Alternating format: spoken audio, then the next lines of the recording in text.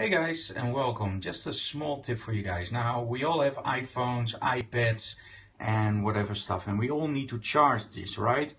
The problem you have with a lot of chargers, especially for iPhones and iPads, is that they simply don't give you the power to charge your device.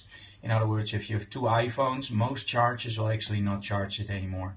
Now, maybe some of you guys already know this product, but we went to the Apple store lately um, last week, I believe, and we got this one from Blue Flame. It's about 49 euros, and this is actually a four-port USB charger. And believe it or not, but this one charges like two iPads and two iPhones at the same time. So if you're like us traveling and you need something that will charge your iPhone and iPads at the same time, so you only need to need one charger, check out the Blue Flame one. It's actually available on the Apple Store. So we bought it and we tested it now for about a week and it really works. And normally when we travel we need to bring about two or three chargers because we can't charge two iPhones from one.